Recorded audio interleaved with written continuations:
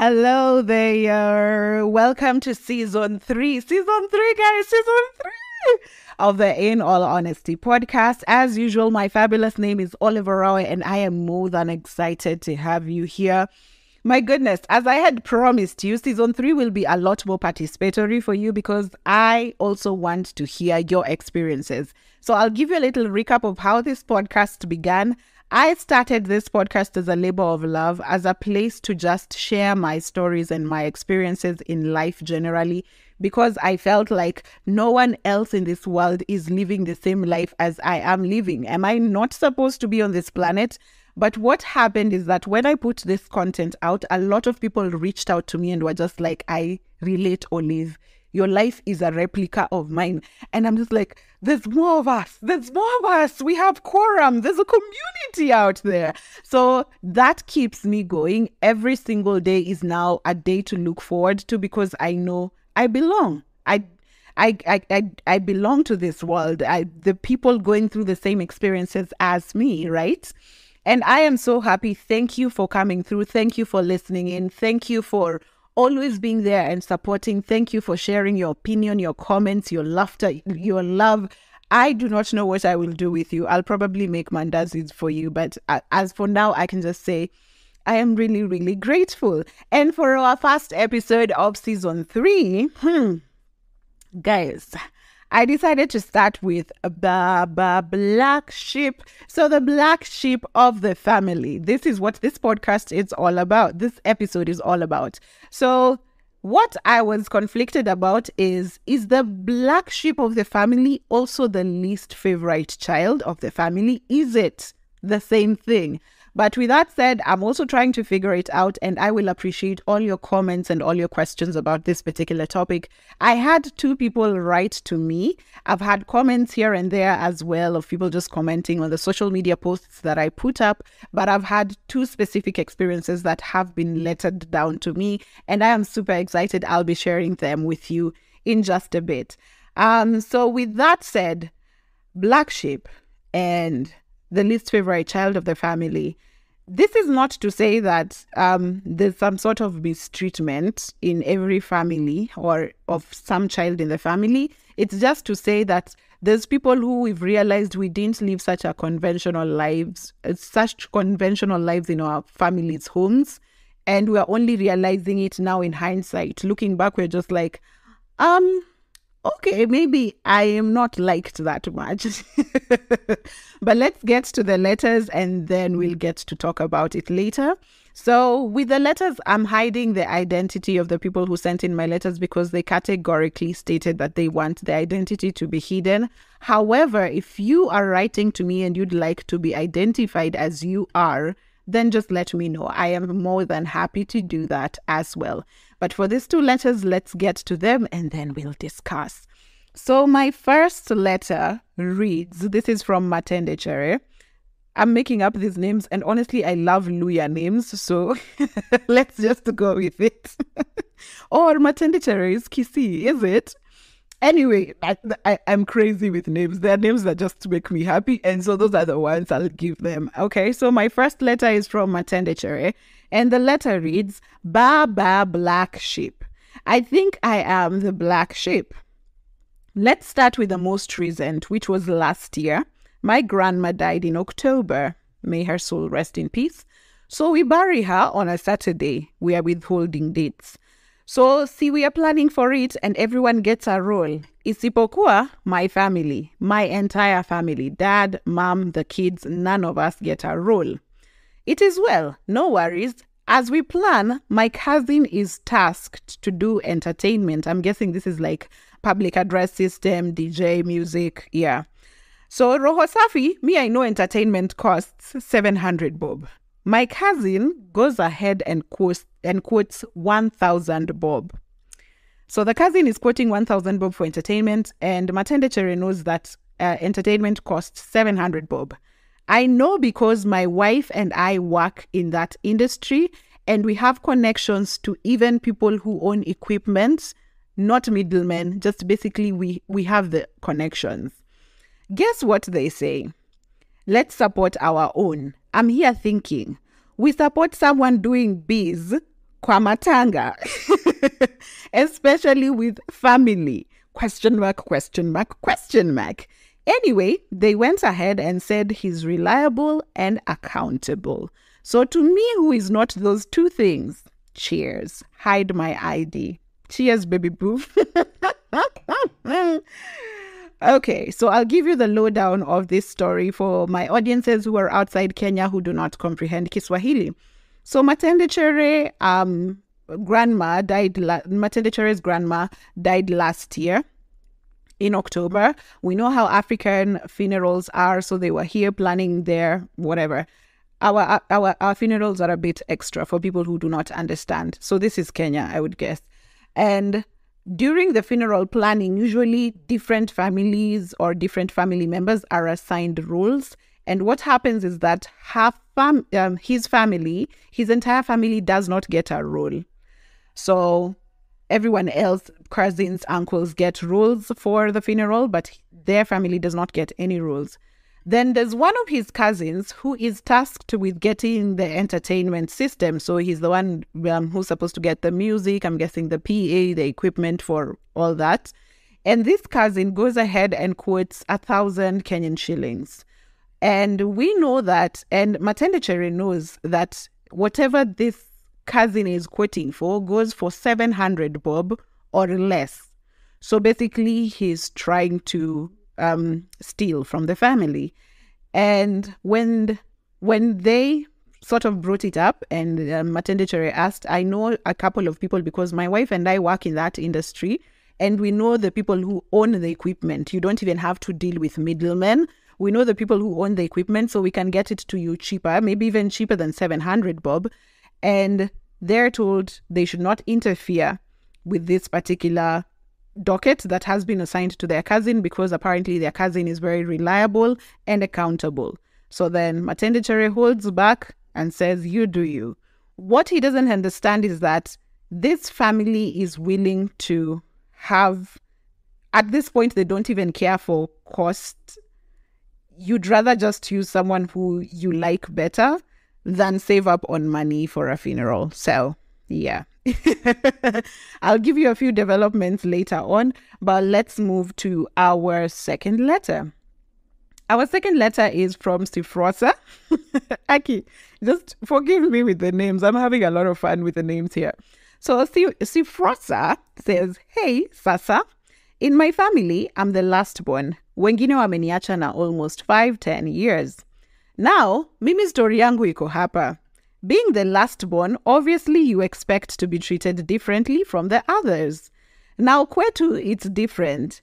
As the last born, mimi I behave like the first born. Duties kila mahali ni mimi everything. Makiu, my elders wamekaa tu. Sasa kitu ilinikasirisha, during COVID, we started uh, kabiashara na my bro. As expected, we had some arguments. Sasa akaamua apeleke hiyo kesi kwa my dad. Imagine dad akaniambia nimwachie hiyo biashara nianze upya cause yeye ndio mkubwa. this one I, this one I felt triggered we. Niache hiyo biashara nian, nianze upya cause yeye ndio mkubwa. I am struggling banange. Eh, she uses a Uganda phrase. I am struggling banange, starting bana. Ah! Nikikumbuka the idea of the business ilikuwa yangu na venye niling'ang'ana ndio iinuke na ishiwa na nguvu. Biashara yenyewe iko na profit ya close to a million bob a month. I don't know if you mean revenue, if you mean profit. Chai. Okay, so the pro um uh, biashara yenyewe iko na profit ya close to a million bob per month. We sasa ishu yangu kubwa ha- uh, so, sasa i- okay, I'm sorry. So he says where, and then he says sasa uh, per month is per month.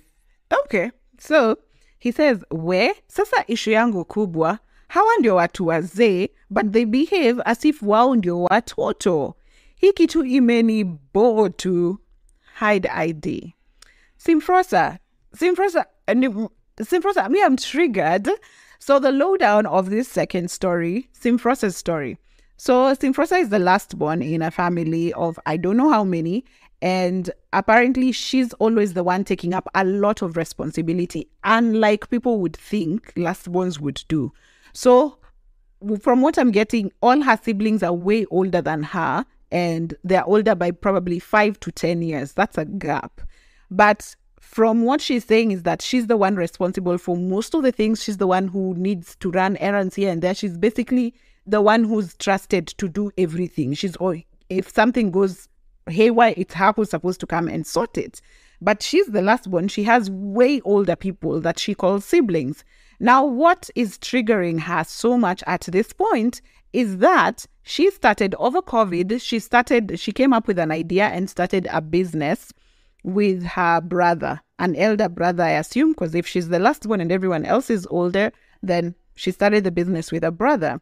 So she worked day and night to make sure that this business was a success. And as she claims now, um, the business is making close to a million bob profit every single month. I don't know what business this is, but please call me up if you have business for me. So she's making profit close to a hundred, uh, it's not a hundred million, sorry, close to a million bob a month. And now the problem is they had a little conflict and so the brother said, This conflict, let's take it to our dad so that our dad can solve it. But when they took it to the dad, the dad tells Simfrosa, Leave, just leave this business alone. Let your brother take it. Because you're the younger one, you can start afresh. Guys, triggered. I am triggered. But anyway, that is Simfrosa's story. So let us get to some of the things that I picked off these two letters, and I have just comments to say about it before we get to my very own story. So, as I probably had mentioned earlier, I am not sure what the black sheep and the least favorite child means. I don't know whether it's the same thing. Could you be a black sheep and still not be the least favorite, or could you be the least favorite and not necessarily be the black sheep of the family. So I would like to know if anyone else has answers, just let me know. But first, let's start on comments. So Matendechere's letter. Hmm. Matendechere's letter is, I picked up a lot of things from that and I'm just like, whew, thank you for sending in this because there are things I hadn't thought about when I was prepping for the episode, and this just put a lot of light to it. So, for Matendechere, the grandma had died, and the family was sidelined, and there's a cousin of them who's probably just, who's not probably, but definitely made money off the family during that tragic moment because they just could not trust Matendechere, who knows that business in and out. But anyway, what I learned and picked from this Number one was that families as a whole can be black sheep. So, them being sidelined by their family, the entire family, to not get any role in their grandma's funeral, it just goes to show could it be that if, because I've never thought of it like that, because I, as the black sheep of my family, I don't have a family, I don't plan to have a family. So, I'm thinking, what if there are people who are black sheep in their family and then they went ahead to have a family? Does that mean, by extension, their entire family is sidelined by the extended family just because the the one link to that family was a black sheep? I don't know. That one just came to me and it hit me, and I was just like, whew, there's so many levels to it when it comes to this least favorite black child uh, shenanigans. Number two is black sheep have the worst rep. And I'll we'll get to my story later on, but we have I don't know I don't know who comes up with the reputation that they assign to us, but where that person needs a job in high state government because I'm I'm I'm telling you where. anyway, so what I learned from this is people would rather lose money than trust a black sheep. Like Matendechere has connections to this particular whatever. Matendechere has connections enough to get them a cheap a cheap entertainment person or a cheap entertainment package, but nah, we just don't want anything to do with you. First of all, we think you will steal. So the job is actually assigned to someone who is genuinely stealing just so it doesn't go to Matendechere, who's uh, thought of not accountable, not reliable. So, guys, I am feeling triggered. I don't know why I started with this episode. But anyway, something else that I learned is that black sheep, even just connecting to the former point, is that black sheep have, is it, could I say multiple personalities or they're just not known as the same person for different people? I say this because the family of someone could know someone very differently from how your friends and your workmates know you. I swear, even in my experience, if my family was to meet my workmates, they'd be speaking about two completely different people. They, my family does not know me like that. And what I was thinking from this case of Matendechere, the family thinks of Matendechere as very unreliable, as someone who we can't trust, someone who's not accountable. When in real sense, Matendechere is in is working in an industry plus with a wife where they know things inside out. So it's like me not being trusted to take up, say, a digital marketing job for a family company, but it will be assigned to someone who is just liked more, but probably they do not have the know how. And just from the reputation that my family has gotten from from person to person around the family, I honestly just won't be considered for it. So I tend to think black sheep also have either multiple personalities or people just know them differently. But I wouldn't say multiple personalities because I think the um, the personality that your family knows as a black sheep is a personality that they've assigned to you. Because most of the time they interact with you, you're either on defense mode or they are on attack. So the version of you they're interacting with isn't the version of you that's just the default version that you wake up to every morning. When in real sense, the people you work with or the people who are your friends interact with you in your genuine most, in your most genuine self.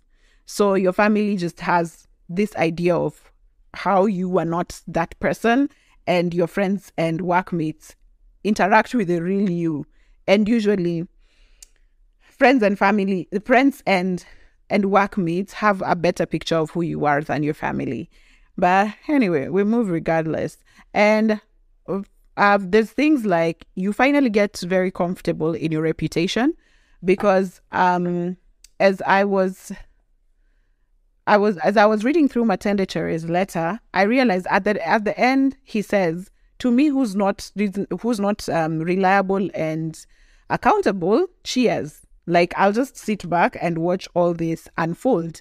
And uh, when I was chatting with Matendechere, and he gave me a reply, um, I got to pick that the grandma was was sort of the glue for the family. So uh, the grandma dying, it's sad for Matendechere. He really is broken. But at the end of the day, at the back of his mind, he's thinking, if the glue is gone, because most of the time they did most of these things for their grandma. They'd go to family reunions, they'd try and do this. That even when you're not being treated well, you'd pick it up for the person who you love most. And so, with this grandma not being there, as much as his heart and he really loves the grandma. At the end of the day, he feels a, a sense of relief in the sense that does this mean that my family can now separate itself from this toxicity that is whatever this family is so that we can finally just enjoy time by ourselves as a family, as a nuclear family, as a small family, and I can finally not deal with the bad reputation going around with extended relatives. And so I totally get it. Um, if you feel some sense of relief, I would not judge you for a minute. Higher, let's get to Sifrosa's letter. So, uh, had the story where, oh, guy, why is. So, okay, so let's get to Sifrosa's letter. So, from Sifrosa's letter, I think this is very important. People need to always, always remember this that to be a black sheep, you're not necessarily the firstborn. To be the least favorite child, you're not necessarily the lastborn.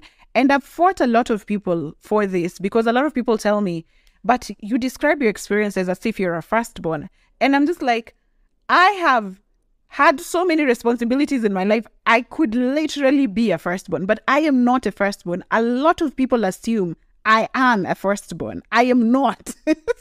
I have siblings who are older than me, but I took up so much responsibility and I do not know why. I do not know how these responsibilities are cast upon one child who's not even on either ends. But at the end of the day, it happens. And in the case of Simfrosa, she's the last born.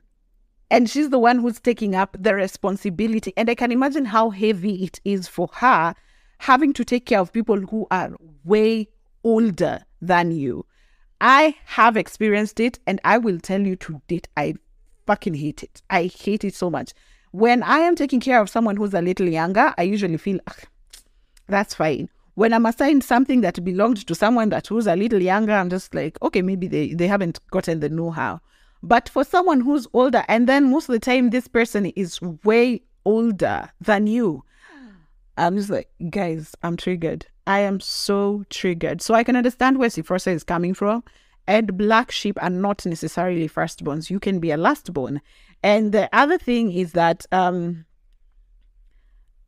from what you can see, Simfrosa is a Amejituma. She's always out there ready to work uh, her ass off to get things done. And when things need to be done, she will be there. But when when people need to get rewarded for these things that have been done, she is not counted. And let me tell you, that shit triggers you. You would die if someone ever did that to you because it feels like when people it, you feel like you're being used throughout. When people need you, you they come to you because you are the person who knows how to do, who will do, who has the, the zeal. But when it's time for the reward, no because she's built an entire, I could call it a multi million business. Because if you're, if you're closing up on profits close to 1 million, baby girl, baby girl, this is all revenue. So revenue could be the a million we're talking about, right? So I'm thinking if uh, profits are close to 1 million, that means your blood, sweat, and tears went into this and they saw you work. These people who you are younger than saw you work, and your parents saw you work. But when you come before them and tell them, now there's this conflict, and me, I've worked, I've put everything I have in this business, their solution is as simple as you're the younger one, you have time. Just leave it to your brother. I don't know, me, I would throw hands. I do, I do not know, but we are going to quote. Because I, I, I am trying to understand, and the understanding is not finding me. I, I don't know. I can only send out lots of love and hugs to you, but I, I just feel like right now I could fight people for you, and I feel like right now I could get you lawyers, and we just go to court because what in the nonsense? And I'm thinking because you're also young and you probably might have done it with your brother and you thought I, I don't know somehow you hold out hope that these people you love will find reasoning. Sometimes you didn't have the contracts in place you didn't have anything that states that you're a part that you have partnership anything that states you have stake in whatever company. So maybe this is so difficult. Like doing anything with family for me it's usually a bit i'm a bit hands off on things that involve business and people I know. I don't even run I don't even run businesses with my friends. Like you are everything to me. You can give me insight, da da da. But I do not have the heart to do a partnership with family or friends. And yo, Simfrosa, me, I'm just sending you love. I'm sending you a lot of love, and I hope you get through it. But um, hey, guys, it's tough. Okay, so those are my two letters and those are my thoughts on those two letters. If you have anything else that you can tell Simfrosa and Matendechere, please leave it in the comment section or you can email me on Ola, Olave Orawo. That's how you spell my name. Olive Orawo at gmail.com or you can also DM me on any of my socials at Olive Orawo. It's basically standard everywhere. Now, let's get to my experiences as a child and what got me to where I am right now and why I think I'm the black sheep. Because a lot of times, if you're the black sheep, um, or I don't know about the least favorite. Honestly, me, I think I'm the least favorite as well. Because, hey, but I mean, I see people being done for things in my family. I'm just like, eh? Uh, okay. but anyway, uh, let's go with the black sheep. So, black sheep in the sense that your life is not very conventional. But what I realize now is that your path is set out from when you're a child to be a black sheep. You don't choose this. You'll only get to see it later in hindsight. But going back to as young as I could be, I'm just like, I don't remember a time when I was I I can say I felt I felt favored with in the eyes of someone else. You know, like ah.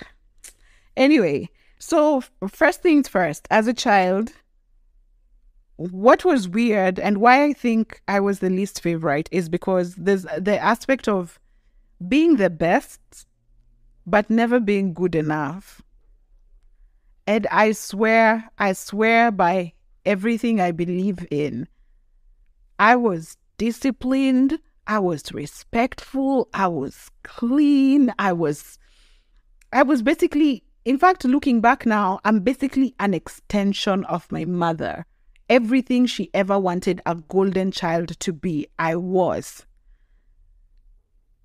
But somehow if I look back, I still was working so much for her validation. Like I am most respectful, but there's disappointment. Somehow I've disappointed my parents or my sisters in a certain way.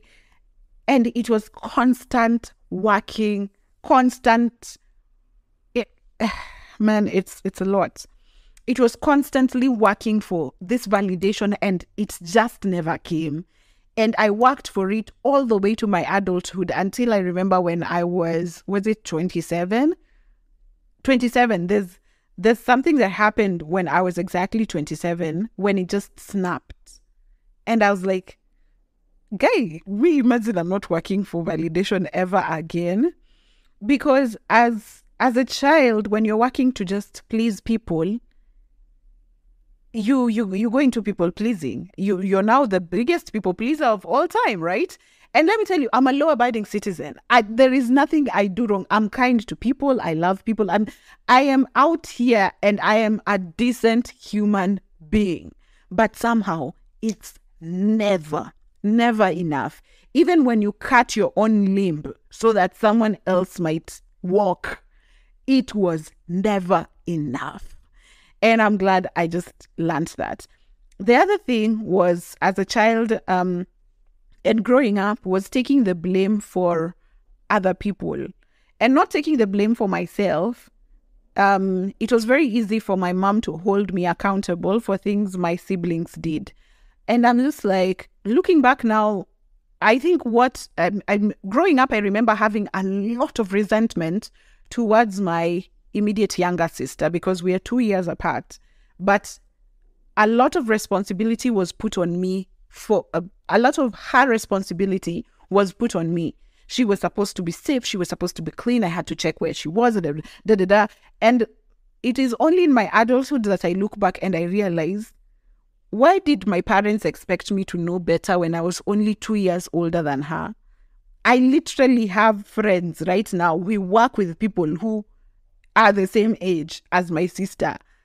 How come I grew up my entire life knowing that she was my responsibility when in real sense we were technically the same age. So the taking of the taking of blame for so many things, it became such a norm that I got used to it. I remember there's there's this time my sister, um, my my immediate younger sister, and you know kids pick it up. Imagine I can't blame her. Right now we've patched things up and she's my favorite sister in the whole world. Of course there's okay my sisters are my favorite. But anyway i love her and we have such a good relationship right now. But growing up even kids can pick up. That's when i realized kids can also pick up that one is being favored over the other. Because I remember there's this time my sister and I, um, I don't know, we had an argument over something, but um, just out, I don't know, out of vile or something, she went and took my dad's documents and she tore them apart in my face.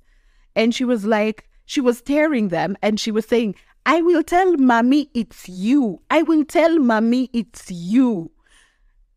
And I remember in that moment just looking at her and I didn't I didn't run towards her to beat her or to stop her. I remember just backtracking. And in that moment it hit me that she lit my mom will come home and I will be beaten for this. I will genuinely I knew it in my heart of hearts. And and not even to miss a heartbeat. My mom came home that evening and my sister said, Olive has torn daddy's documents. And man, was I beaten. Boy, was I beaten. And I it became so normal for me that I would freak out whenever my sister would scream. Any of my sister, my, any of my younger sisters, if they screamed or if something hurt them, I'd freak out because it was my responsibility. And I remember some of the times, and I remember it became it came to a point where I thought my defense would be, um, uh, I, um, I, I, I didn't see her do it. Maybe my sister has broken something, and then my mom will ask, um, who has broken this? And I'll say, ah, it's Nani or it's Nani. And my mom started asking, where were you when she was doing it? And in that moment, I realized I don't have a defense as well. So I just need to be on the lookout that my sisters don't do anything wrong because then that blame is going to fall on me and I'm the one taking the fall for it. I'm either getting beaten or I'm getting scolded or I'm getting quarreled at for that particular thing.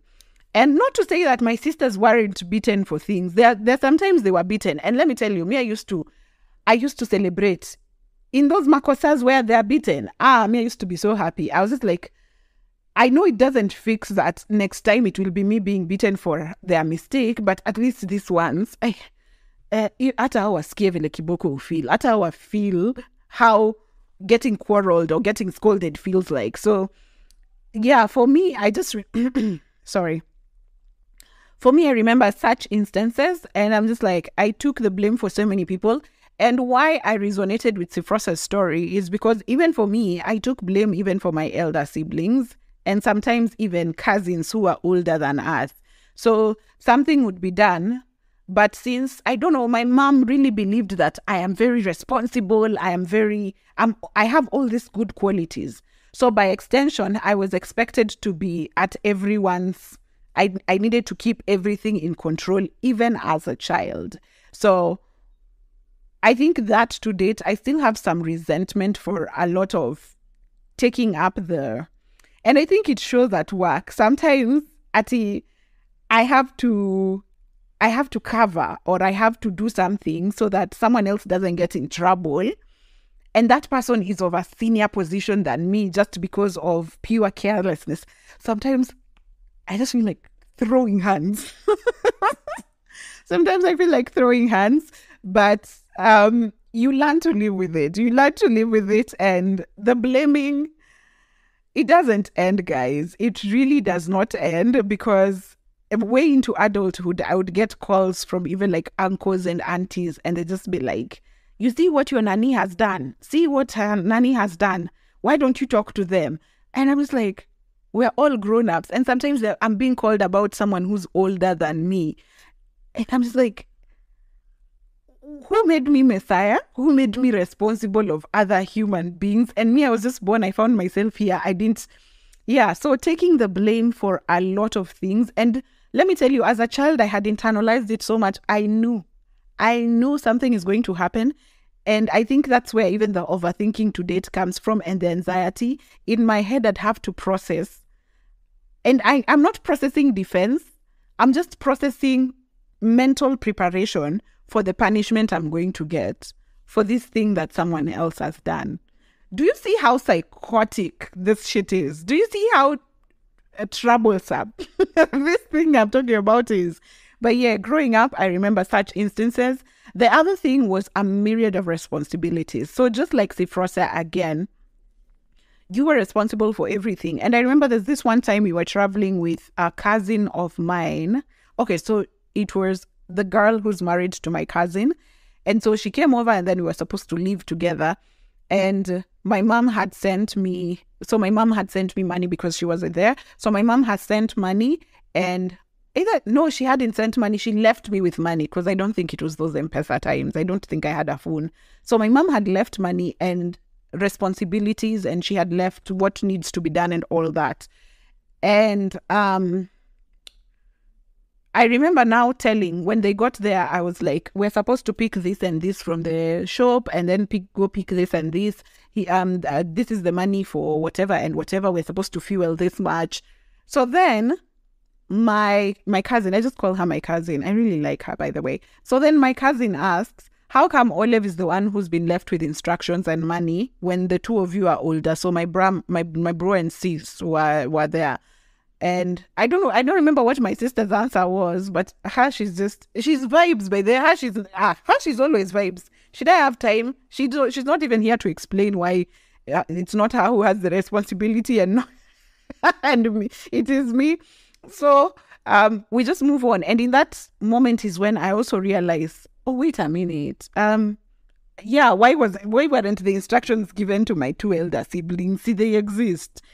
Anyway, but it, my mom keeps saying, "Oh, you are very responsible. You're very organized. You're very, you know, you have all these qualities." So, I think for a very long time that kept my engine going.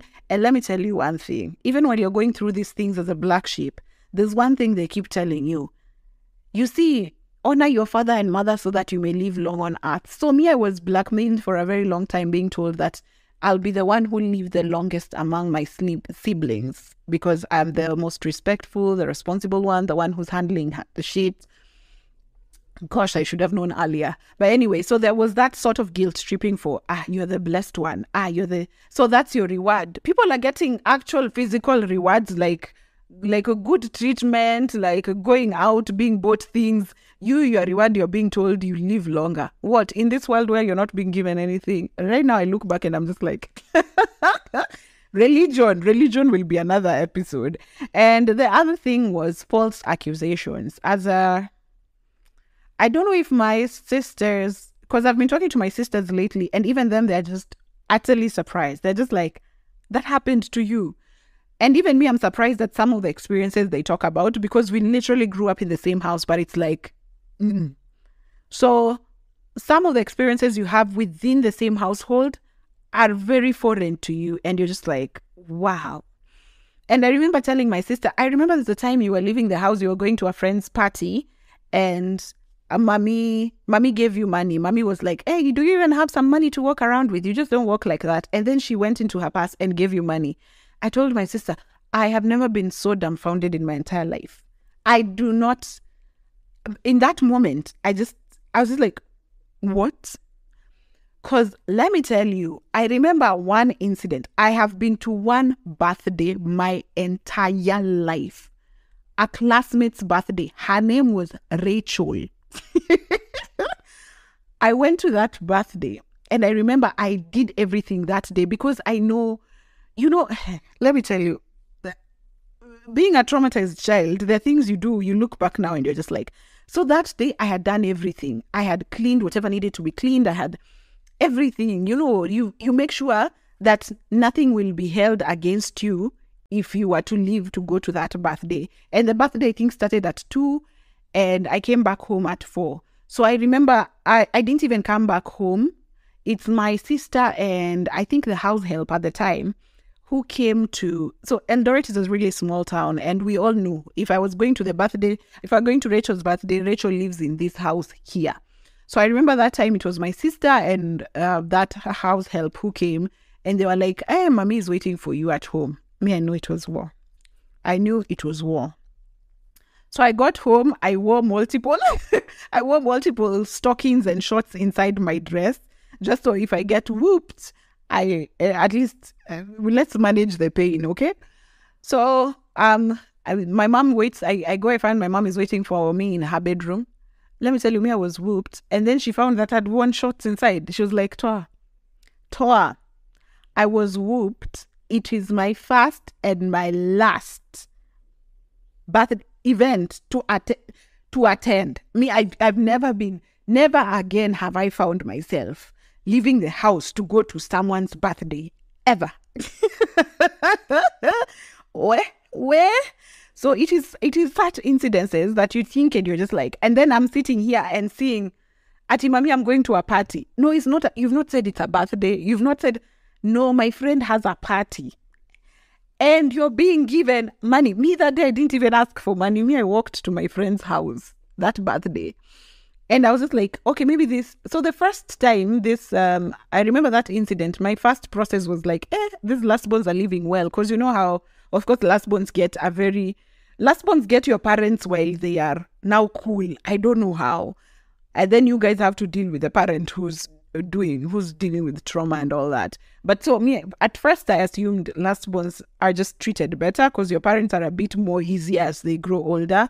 But then looking back, I'm just like, um, I never saw such harsh treatment towards my sister who is literally an extrovert my sister was ne- my elder sister is never was never in the house she was at a church concert she at a church getaway she at a what she was always so busy and i'm thinking was it because my event was not a church related thing. I don't know. To date, I honestly do not have the answers to these questions. All I know is that those particular events traumatized me for life. And I didn't see the same energy extended towards my siblings. Probably if all of us went through the same thing, I wouldn't be so mad. But once being singled out was a lot. So false accusations was in the sense of um, can we just sit for a minute and think about um how black sheep okay for girls i don't know about boys how black sheep started being called loose and whores from a very young age. Like your your breasts just started showing your hips started growing and all of a sudden there was just a whole load of it's you and men. You're doing something to men. And it was really weird. This uh, I call them false accusations because of all the people I have now interacted with and talked to who've gone through the same experiences, they are the same as me. First of all, sexually, they were late bloomers. We all got to have sex in our 20s after high school completely. Um, any sort of like dating or all that, we are, by the way, most of us are completely dysfunctional in relationships. We do. We are not even here to pretend black uh, black sheep are struggling in relationships. So I'm just like, how are you constantly accused of something you're not even good at? So there's always false accusations. And when I'm speaking about false accusations, there's even things like um there's things like your bad reputation. You know, your bad reputation is not something you ever did. It was just something that someone interpreted as to have offended them. So if um I don't know if I if you came there's there's an incident where um someone came home and said I should go help them with something. So they were a relative. I should go help them um fix something else in the they they were hosting or something. And I was like, I've not finished mopping the house. Can I finish mopping? And then I'll come once I finish. But I don't know how they took that. They left having felt that I have refused to go help them with their guests. So then that bad rep just goes around. It's just like Oliver is kusaidia na wageni, Oliver is kusaidia na wageni. When in real sense, I didn't. I, I just needed to finish another task so that I can attend to that next one. So even the bad reputation that you have, you black sheep have, isn't something you did. It's just repeat. It's just I don't know rumors passed around by other people. And am I making sense? Anyway, guys, if you relate, you relate. Anyway, let's get to the process of healing. The healing does not end. I do I think I think you just learn to live with it. You learn to manage the triggers, but I don't um okay, let me not say healing healing happens, but because I'm I'm I'm one person who really believes in therapy, but I haven't started therapy yet it's in the works. I will go to therapy definitely and I will share my experiences with you. But at the moment, I haven't gone to therapy, but I've done a lot of work towards growing my mental health and stabilizing it very well.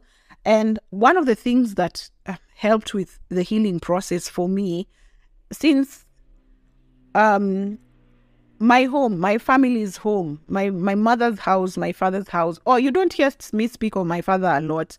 So I am, or maybe was, I'm not sure, but I was my father's favorite child. I really was. So when someone comes here, so if, if someone will come to my comments, even someone who knows me, it will be like, "How are you saying you're the least favorite child when you're your father's uh, apple of the eye?" Eh?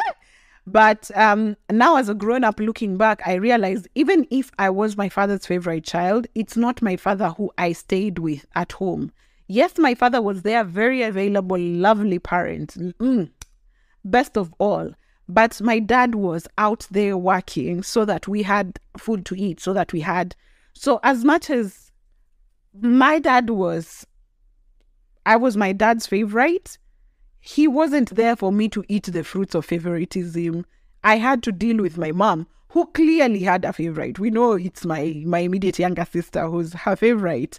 She refuses, but oops, I mean it's easier. It, well, she was. I as an adult now, I'm struggling to see the favoritism. I feel like our parents are now just treating us equal, but when we were young, we could clearly see who was who was the favorite child to what parent. So growing up, yes, it was my youngest, uh, my immediate younger sister, but now I don't know. I feel like the dynamics for our family has really changed. And I feel like our parents now just treat us a lot more equally. I don't see favoritism in our adulthood right now. But anyway, um, with that said, in the process of healing, the first thing that was the biggest, big, biggest gift I gave to myself was moving out of home. And a lot of people say if you go back home, you save money, da da da, like home gives you a comfort. For some of us, home does not hold peace like that. We are out here, we'd rather buy that peace, and the price of peace is rent, and we're willing to pay it. So home has a lot of moving parts and me just moving out. And I remember when I was telling you about the story of moving out of my house, of my mom's house, I was, I moved to a house where I slept on a certain, there's a duvet I've shared on my TikTok. I slept on a duvet. So I would put the duvet on the floor and then I'd sleep on it and then cover myself with half the duvet. So I'd, it would like, I would like roll myself on the duvet. And even sleeping in that, I, I didn't really care. I was the happiest I have ever been in my life. I didn't really care. I was the happiest. I was just so happy. It didn't matter that I, I was coming back home to a house that has no food, has no furniture, nothing. At the end of the day, I was just like, for once, I don't have to think about who's eating what, who's where doing what that I will now be answerable to the next day, you know. So for me, peace has always been, and that's why affording rent and just having a place of my own is so is such a high priority because for me, renting a house is not just renting a shelter. For me, renting a house is renting peace. I'm I'm I'm buying my peace and it's okay if I have to buy it. It's something you shouldn't be buying, but it's okay if I have to buy it. And this home like any home I've ever lived in. And a lot of people tell me, you always make every house you've gone into, even when people didn't see the potential for the house to be a good place, I would always make it a home. My houses have always been a place that you come to and find warmth and welcoming because it it does not matter what it is. It could be a square foot and I will just live in it. It's okay. It's fine. So long as it's mine and I am not responsible for anyone else. So moving out of home was a very big part of healing for me. Um, number two is choosing yourself, and choosing yourself, um, choosing myself became was a journey that I went, I started very recently, and it took a lot of what my third point was, which was eliminating guilt. So you'll realize that a lot of times, even the guilt you're feeling is because you were so used to serving people so much, but when when you couldn't serve them, like let's say the incident of I was mopping, so I couldn't go and help with the guests. This person assumes this person is so used to you dropping everything and going to attend to them that on the day when your hands are full and you can't drop these things, or rather you're carrying glass and I can't drop these and come and attend to you, on that day when you just excuse yourself, automatically that day you're considered the worst person ever, right? And so for guilt and choosing myself, it was kind of the same thing. You telling yourself, I I can't I can't take the last 200 shillings I have just to send money home.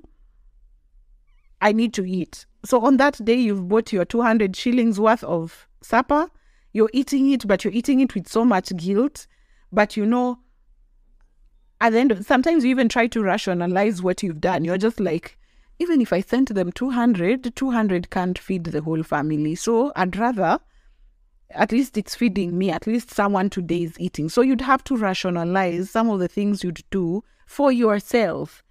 And um, some of the things I just there's there's things I'm still realizing. There, there's times you have triggers, this time you have light bulb moments up until now where you just realize, eh, wait a minute. Uh, by the way, lazima.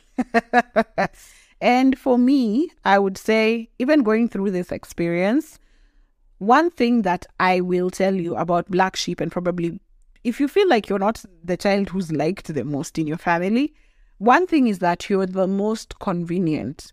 So I would say in my experience, since I grew up in a in a in a space of I was always ready for defense or flight or fight. You know, you are always my my reflexes became being self-sufficient, being being everything you'd want, you know? If you needed security, you'd have to be your own security. If you needed if you needed uh, something, food, you had to go find food for yourself. So in that sense, where you're always on the defense or where you're always waiting, like you're you're you're on vigil all the time, in that sense, you develop, I, I don't know whether to call them qualities, you develop certain qualities that allow you to be a very convenient, independent person. Like I've always said, even that has really affected my dating because I usually feel like a lot of the times men come into my life and then get into a space of a lot of comfort. I'm just like, and that's where I pull out because I'm feeling like you I, I start taking care of you again. I want someone who comes in and is very brazen about also taking care of me. I don't want to be in a state where I start feeling like I'm slipping into a space where I start being responsible for you. And that's a lot for me. So that's why you're the most convenient because you had to you had to develop qualities that would help you survive but in real sense, these are the qualities that the world needs. People want someone who's organized. People want someone who's timely. People want someone who's. It's built on your traumas, but at the end of the day, you're the most industrious. You're the most um, valuable person in the room due to these qualities that were built up when you needed to survive. So, in that sense, you're the most convenient. And that is why to date, um, you'll find for me, I've fought those those those calls for TCG. Hello, can you talk to your cousin? CG, he's done what? We've seen your your cousin drinking alcohol. Can you call him? Uh, as who? Did I give birth? Ebu, okay, go deal with your children. So it has it has gotten to a point where I am very confident about. I'm not responsible for you people, but that has taken a lot of work. It's taken years over. And by healing, healing does not happen in a day, in a month, in a year. It depends. It depends on you. It could take years, it could take months, it could take weeks. I do not know. But you have to be very deliberate about leaving all your traumas behind. So that was on the on the point of convenience. Now what you will realize is that you are the most convenient. You're the one people want to use the most. Me, I refuse to even run errands in Nairobi. At you're calling me CG from where? At the end, go to Eastleigh and pick carpets for me. You organize for someone. There's people who run errands in Nairobi. Pay them. Let them send the carpet to you in whatever town you're in. I don't do that anymore because I became the most convenient. You are the most industrious. You're the the values you picked and the qualities you learned while trying to survive are very convenient for everyone in the world. The workplace, your family, your friends. So be very careful about being a black sheep or someone who survived um, traumas of favoritism amongst other people. Be be very careful with the people you have around you you'll realize there are people who are only looking to take and not so much give. And in the sense of, and in that very same point, you're very convenient, but you're very difficult to reward. You're very convenient. I I kept on telling. There's this time. Um, I think I've mentioned it in an episode before. There's this time my dad was in town, and so I was I shugulikiad him, uh, put him on a cab, took him back to wherever he needed to go. And then when I think he called me like three days later, and my dad told me, um, Kwani Wezi, you can't even say if you've received the money. You know me, I'm old. I don't know if my eyes see well, if maybe I sent the money to a wrong number. I'm like, what money? And he's like, you've not checked your M-Pesa. I'm like, Daddy, I don't even use my Safaricom number like that. I, I, I don't expect money from people. And he's like, that's the life I've lived. I don't, I'm surprised that you're living like me. And I was just like, Dad, me, I don't, unless there's a transaction, there's a job I've done and I'm waiting on money. Me, I don't sit like this and think that someone will shtua my M-Pesa with something. And I don't expect it from everyone, from anyone. So you'll realize that you will never be rewarded. No one will ever care for you like that. No one will. And I, there's a friend of mine who keeps saying, um, I need to learn how to answer my calls. And I was like, calls I can answer. It's only that I can I can note trends. And so I usually know. There are people if they call me. Even by the way I know. Uh someone is calling me, other is calling me.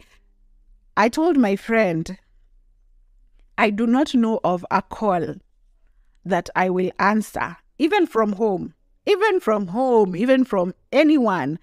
I do not know of a time when my phone will ring and I will answer that call, and the person on the other end will not want something from me. And it's not necessarily money. Sometimes it's a favor, sometimes it's a responsibility, sometimes it's an errand. And I'm just like, I do not think there's, I know of anyone in my life who could be calling my phone and I would think, oh, let me answer. They're just checking up on me. No, so if you see me not answering my calls, I don't have the headspace to deal with you and whatever it is you want to ask from me, whether it's just psyching yourself up, because it's gotten to a point where um, there are people who call me up and they're just like, you know, all of you're such good energy. So um, I have this nini I'm going to do tomorrow and I just want you to psych me up. It's not money, it's not a favor, but I know I'm good energy but you assume I have this all the time and you assume you don't you didn't even care at what point you've called me. Do you know if I'm mourning? Do you know if I'm going through something? Am I going through something at work? No. You just called me, you want good energy. So at the end of the day, I've told a lot of people I can't receive calls because I still to date do not know of anyone who would call me if they're not asking of anything from me. So I'm sorry, friends, family out there who's watching this episode. I am not answering my calls because I know you want something. And I keep telling you, people, if I don't answer my call, can you text? In that sense, I know how to prioritize whatever it is that you need. And I know for a fact, if you want something, I keep telling people, if you want something, please just contact me and tell me what you want. As someone who has gone through the um, through life just being the kind of person who does a lot but not a lot is done for them i do not expect you to call me. I, have not talked to you for a while and then you call me and you just say hey olive how you doing? It's a lie. Just get to what you want to say. Just get to what you want to i want i want to be mad i'm never even mad I, if there's people i really respect is people who holler at me and they're like hello how you doing today I don't even care how you're doing. Um, I want uh 50k. Do you have it? I don't. Okay, so I'll see you later. I do. I have it. I'm sending it to you. I'll return it. Nini, Tosha. This idea of pretending that you care about how I'm doing before you get to. I don't want the pleasantries. Just get to it. So yes, we as black sheep have gone through enough. We are the most convenient but most mistreated. yeah, you won't get any sort of uh, favorite treatment or special treatment from people. But when they need things done, it is you that they will always, always come to. So learn to set your boundaries very strictly so that you don't end up feeling like you're being used. Because these days, when people come to me and they're just like, you know me, I do things for people and they don't do it for me, I'm just like, at the end of the day, it's not their fault. There's always going to be users out there, and you can't always cry victim. So set your boundaries, be stern. These people are willing to hurt you or sacrifice you or exchange you with something else that's the next convenient thing. So just be able to know that you can also choose yourself. Okay. So at the end of the day, even if you come to me and tell me, oh, people are using you, you've allowed yourself to be used. Even us out here, we are very convenient people, but can people use us? No, you have to limit your access because you know how valuable you you are as a person, and that value is built on trauma. But anyway, you have to learn how to live. I am sorry, it's tough. The world is not an easy place, as I have said before. We used to think that the world has good people, the world has bad people as well, and you do not need to have done anything bad to get bad treatment. So just put your boundaries, just I don't know, guys. Just be safe. Be safe out there. The one thing that I am worried about um, now that I have learned a lot of things on how to deal with this particular trauma of being the black sheep is sometimes I think to myself, have I become too unfazed? Am I am I too cold? I know I'm cold and distant a lot of times. Um, but uh am I because there are things sometimes that you know it's my sisters, my two younger sisters, the ones who call me and tell me something that has happened at home. And I'm just like, okay. And they sometimes they're surprised at my reaction being so calm. And even I sometimes think about it. Am I have I gotten to a point where nothing is a surprise, nothing takes me by surprise anymore, nothing is sh- extremely shocking. Like you just learn to live through things. I know it's a good thing, but could it be a bad thing? Could it be bad that the world could be burning and I'll just look for a sitcom and sit and sip my wine? I don't know. But at the end of the day, we don't have answers. At the end of the day, this podcast is just for me to share. And it does not necessarily mean that anything will make sense. It doesn't mean that I've found the solution. It doesn't mean that my way is the correct way of dealing with such trauma as a black sheep. I'm just here because I needed to share this experience because there's people going through the same experience out there.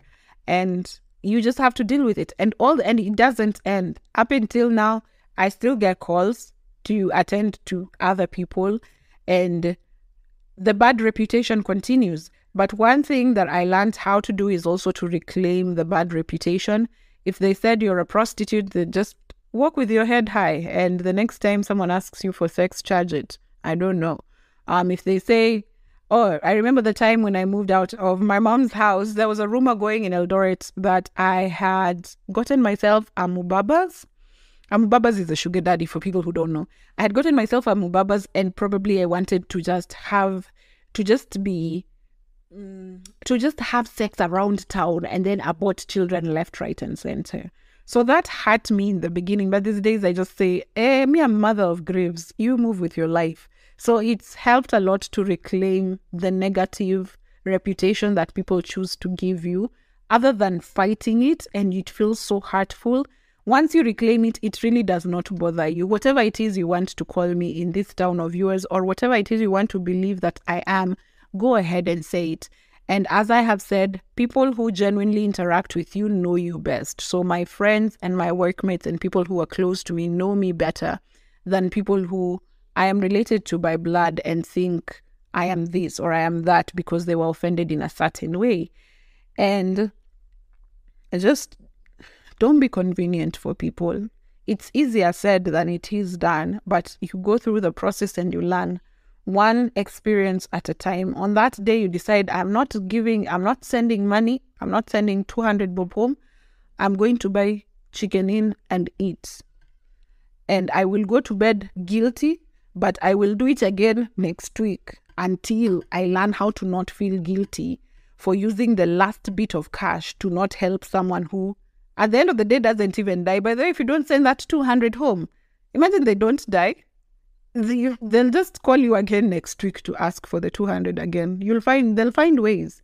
So at the end of the day, you just learn. But also, as I'm sharing my story, I do recognize that I have the privilege of a family that can provide for itself. My sisters are well placed for themselves.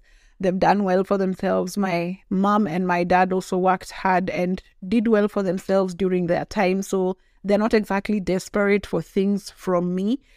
So I can understand being in my comfort level because I understand there are people who are going through the same trauma as I, but at home there's nothing. So they still feel the very sole responsibility to still take care of things at home. For me, the home is a bit stable. So that's why I have the luxury of choosing myself and choosing things like not feeling guilty because at the end of the day, it's not a matter of life or death back at home. But with that said, we close the episode on Black Sheep, Ba Ba Black Sheep, and least favorite children. If any of it relates, please leave your comments in the comment section. You can text me, you can send me emails, um, DM me, not text me. None of you have my number, but DM me and I will get to your responses. Please watch out on my social media. I will be posting a question that we get to discuss in the next week. So until then, do have yourself a lovely, lovely time. I know my energy levels have shooked by now, and it's because this was a very heavy topic to start off season three with. But I am happy all the same. So take care of yourself and be good to people only until a certain extent. Um, and then make sure it's reciprocated. If it's not, it's good to just move on with your life, show yourself the love that you want to be shown, uh, learn how to heal. Even me, I'm learning right now how to be taken care of, how to let other people take care of things. I don't always have to reach for my wallet when I'm going out with people. I don't always have to check, oh, who's getting home, how, who's. Ah, let people be grown ups as well. You don't always have to be the one who is in charge and taking care of everyone. But until next time, bye thank you